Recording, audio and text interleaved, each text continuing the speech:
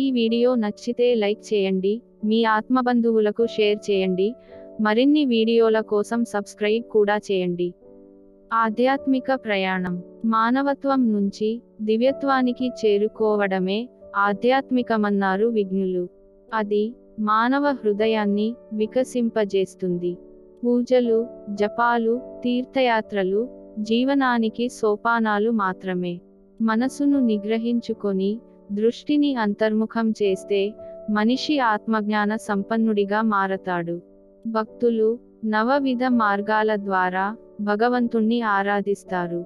జ్ఞానులు నిరంతరం ముక్తి మార్గం కోసం అన్వేషిస్తుంటారు. కోరికలతో నిండిన మనసే దుఃఖానికి అజ్ఞానానికి మూలం. నశించే శరీరం కోసం భోగాల్ని ఆహ్వానిస్తున్నాడు మనిషి. ఆత్మ అసాధారణమైనది. అది వెలకట్టలేని జ్ఞానరాశులతో నిండి ఉంటుంది. అనేవారు శంకరాచార్యులు.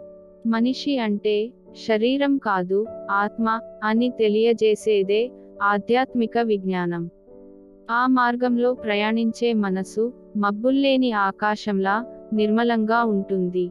మనిషిలోని దుర్గుణాలు చెడు అలవాట్లు పూర్తిగా దూరమవుతాయి.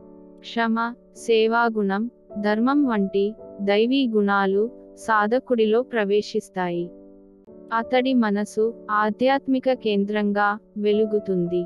భగవంతుడి నివాసంగా రూపొందుతుంది. లక్ష్య సాధనకు ఆత్మ సాక్షాత్కారానికి గురువుల ఉపదేశం తప్పనిసరి.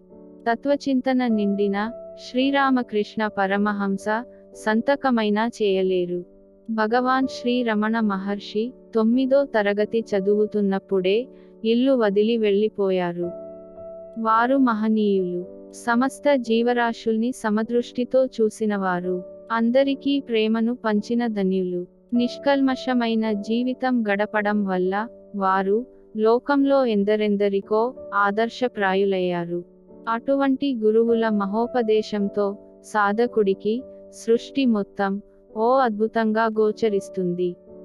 అన్నింటిలో అందరిలో భగవంతుణ్ణి దర్శిస్తారు.